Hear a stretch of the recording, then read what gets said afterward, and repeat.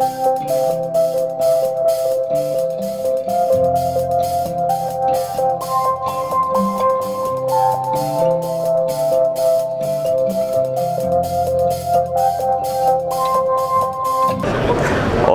ah, hola a todos, soy Fernando Girón, ah, Marketing Manager para UPM Rafatac y estamos en el primer día de Pack Expo.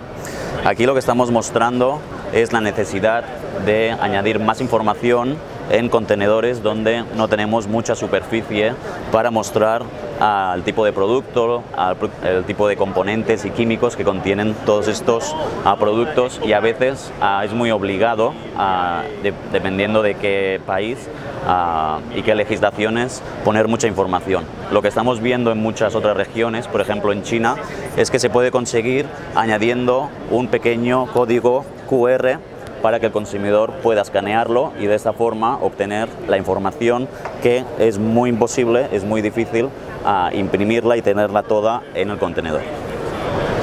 Aquí tenemos dos soluciones ah, sustentables en el área de etiquetas fílmicas.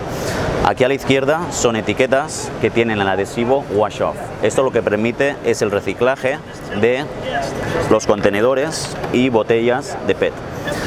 ¿Qué quiere decir? Que la etiqueta, cuando pasa por el proceso de reciclaje, se separa completamente del envase de PET.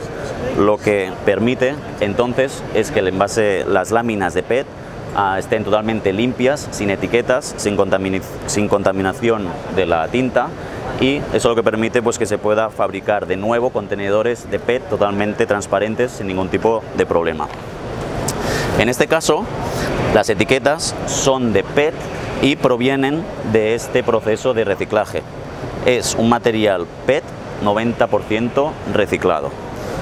Es decir, lo que se saca del reciclaje de PET lo utilizamos también, parte de ello, para hacer etiquetas y que pueden ir a envases de vidrio, de aluminio como las latas o incluso también en contenedores PET.